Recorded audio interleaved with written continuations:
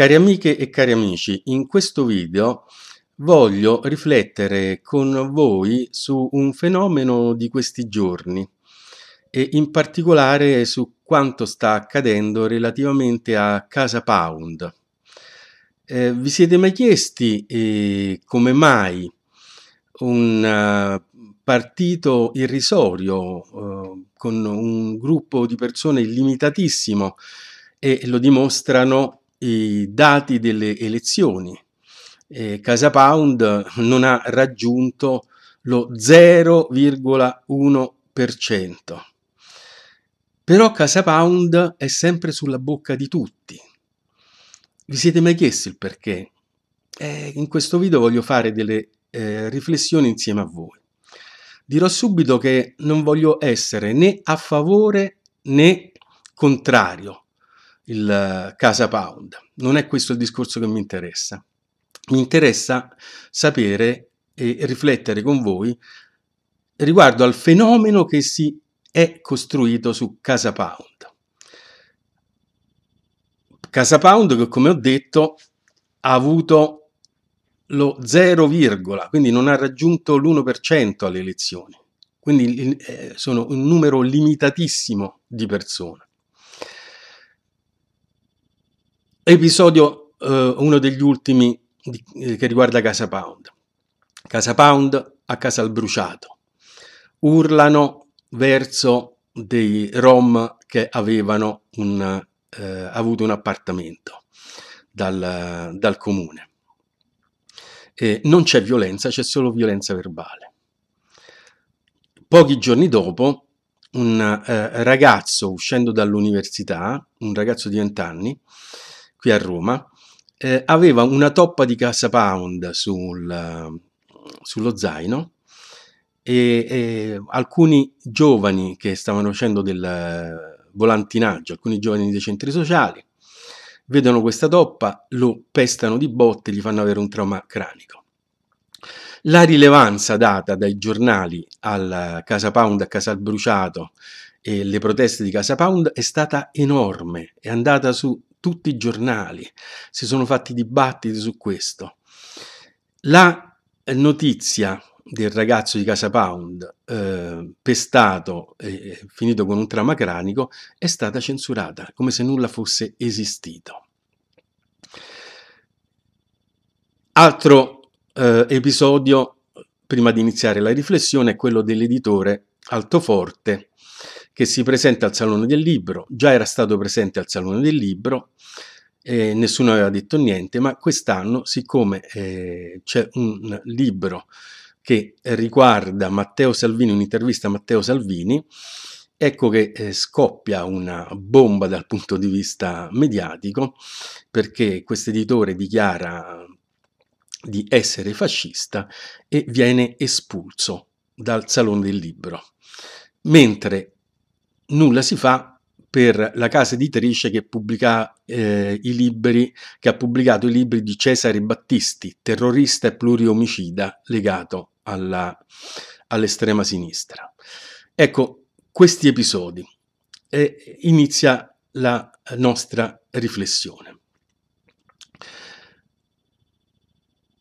Siccome la eh, Casa Pound è un numero limitatissimo, vi siete chiesti perché ricorre il nome di Casa Pound? Ad esempio, mm, chiudono un centro sociale violento e, tutti i giornalisti dicono ma perché non fanno la stessa cosa con Casa Pound?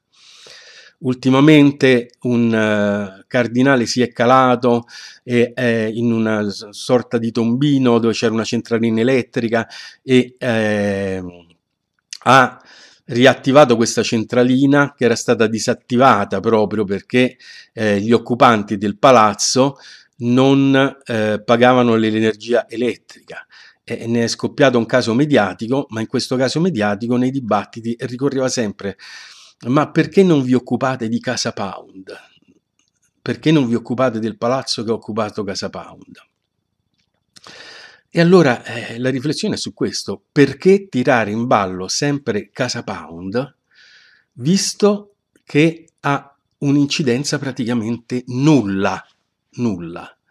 perché lo 0, non so, non, non, ricordo esattamente, 0,6, 0,7%, cioè non arrivare all'1% alle elezioni è un dato di fatto, questi qui come incidenza politica sono a zero.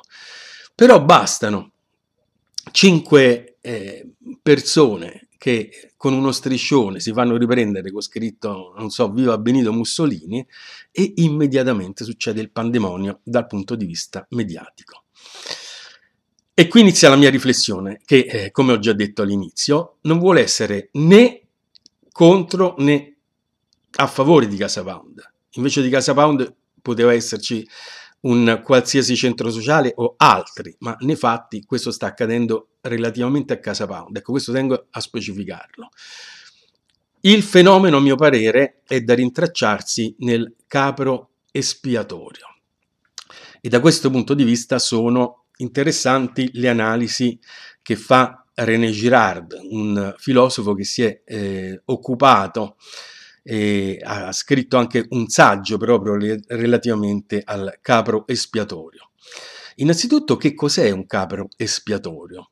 Il capro espiatorio era un capro che anticamente, durante dei rituali legati all'ebraismo, eh, veniva utilizzato e eh, si chiedeva attraverso questo, questo, questo animale il perdono dei propri peccati nel Tempio di Gerusalemme. Tant'è vero che questo rito legato al capro espiatorio era un rito ebraico, appunto, che eh, era eh, compiuto nel giorno del Kippur, ossia nel giorno dell'espiazione. Allora il sommo sacerdote, con un cerimoniale, caricava tutti i peccati del popolo su questo capro espiatorio e poi lo mandava via nel deserto, lo allontanava. E questo eh, rito è descritto nella Bibbia, nel Levitico, ma anche nel Talmud e nella Mishnah. Ed era un rito molto importante quello del capro espiatorio. E allora cominciamo col dire che in senso figurato capro espiatorio è qualunque sia cosa o persona, ma può essere anche come nel, casa, nel caso di Casa Pound un gruppo, potrebbe essere anche una organizzazione. Ebbene, qualsiasi cosa che diviene eh, eh, responsabile delle colpe collettive, esattamente come la capra degli, degli, degli ebrei, è su un gruppo di persone, su un'organizzazione, così eh, vengono caricate tutte le tensioni di un gruppo sociale. E Girard fa delle analisi interessantissime da questo punto di vista, perché afferma che il sacro, la religione, i miti nascono proprio in seguito a questo processo vittimario che si concretizza in specifiche situazioni in cui si trova la comunità sociale. Eh, eh, ho detto vittimario. Vittimario che vuol dire? Ecco, il vittimario nell'antica Roma era l'assistente del sacerdote che eh, officiava un rituale. E, e, il vittimario quindi stava vicino al sacerdote e aveva l'incarico di preparare la vittima e sgozzarla sull'altare. Quindi sì, solitamente era un animale che veniva sgozzato sull'altare secondo gli ordini del sacerdote e era proprio il vittimario che lo eh, sgozzava.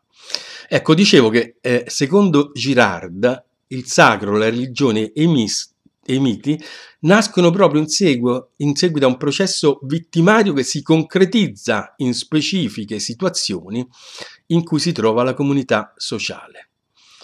Queste situazioni nascono in momenti di gravi crisi, crisi intestine, che mirano la solidità di un determinato gruppo umano, di una determinata organizzazione e minano anche la sopravvivenza di quell'organizzazione.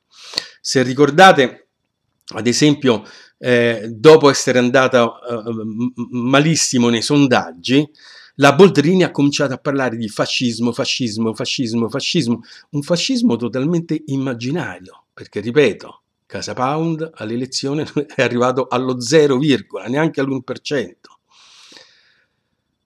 E, e dunque il capro espiatorio, tornando a Girard, mettiamo che c'è una grave carestia, una pestilenza,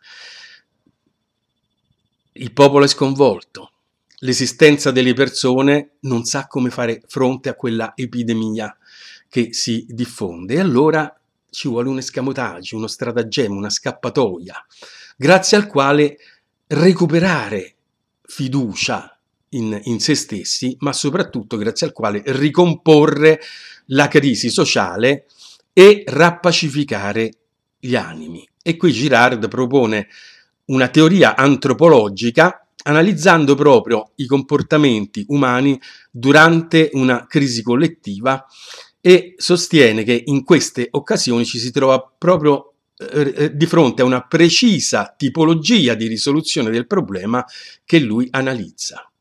Grosso modo è così. Le singole rivalità tra gli uomini, i conflitti, degenerano velocemente e questo porta a un desiderio unanime e indifferenziato di vendetta. Girard definisce contagio mimetico il propagarsi di questa vendetta che si espande a macchia d'olio all'interno della comunità, colpendo qualsiasi cittadino, anche il meno coinvolto. In, questo, in questa dinamica, un po' alla volta, viene a costituirsi una folla contagiata da un conflitto ed è pronta e disposta a scegliere una singola vittima contro cui polarizzare tutto l'odio generatosi. Nel caso, nell'esempio fatto della Boldrini, ma ce ne potrebbero essere molti, molti altri, il eh, Partito Democratico si stava disgregando e allora ecco, l'antifascismo è un motivo per ritrovare in qualche modo l'unità nonostante la crisi ed il conflitto interno al Partito Democratico. Tornando a Girard, è interessante soffermarsi su questa folla che a un certo punto è, è, risente della crisi e quindi vuole risolvere il conflitto. Una massa di uomini esasperati da questa crisi interna che tendono ad unirsi proprio in preda a quella che Girard chiama una frenesia mimetica, ossia una smisurata sete di vendetta, di scaricare le loro tensioni su qualcuno ecco che si forma una folla pronta a lasciarsi andare a un episodio di violenza.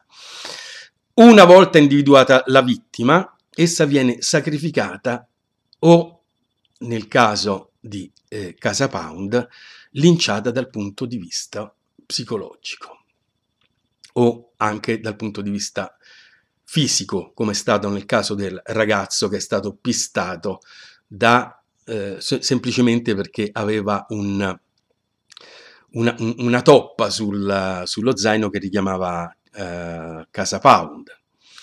E quindi ecco una comunità che diviene preda di questo mimetismo violento e degenerato e vuole ricomporre la, e risolvere la sua situazione conflittuale.